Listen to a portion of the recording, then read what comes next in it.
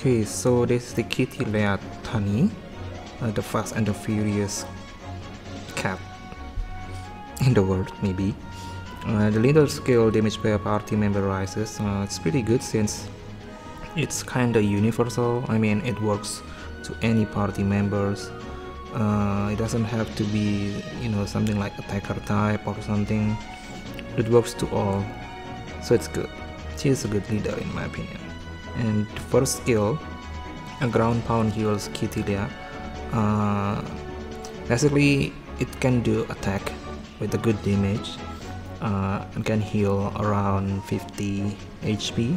It should be around 10% of her max HP.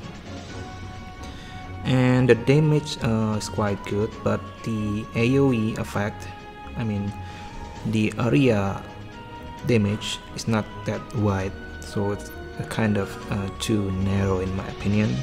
But yeah, somehow uh, can heal her. And the second skill uh, it's a very huge damage skill but it takes kinda too long uh, you know after you activate the skill it's gonna take some time until the cat appears and it will do a huge damage after that rapidly hmm. uh, well it's kinda good to evade the enemy's attack as well actually due to the long animation but you have to be careful about the you know uh, character eating plan or something mm. and her passive skills defense plus 50% gives her a pretty good defense uh, it's actually uh, similar to Lancer's defense already mm, not as good as Lancer yet but yeah somehow she can get a pretty good defense so that she won't die easily. The attack plus 50% gives her a nice bonus.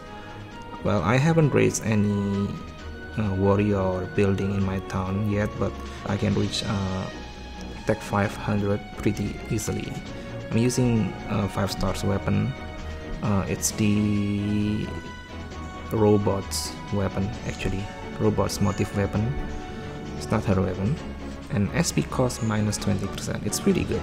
So that she can actually spam her skill more often. Um, maybe something like her second skill.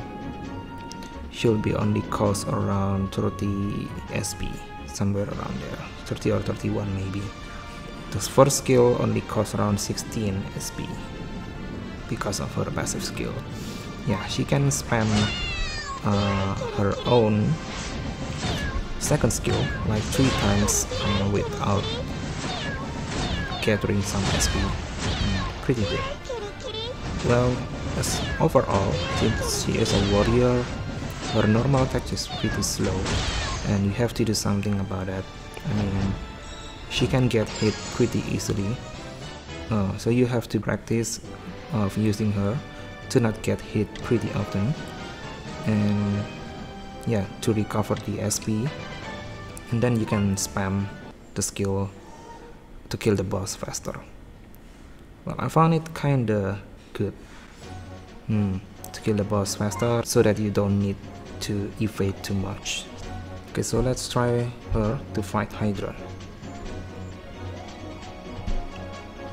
okay so the problem is uh, the slow attack animation and the man-eating hydra. Okay, let's try.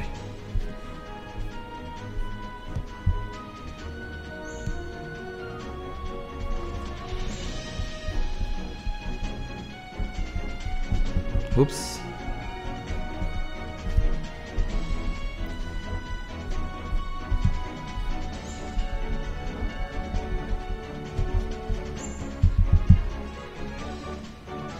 Damage is pretty good.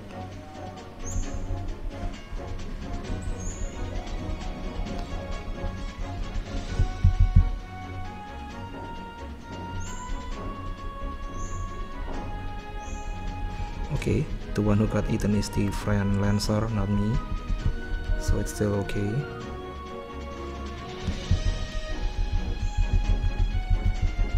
Yeah thanks to the high damage I didn't have to evade or dodge too much and also the tough friend lancer hmm.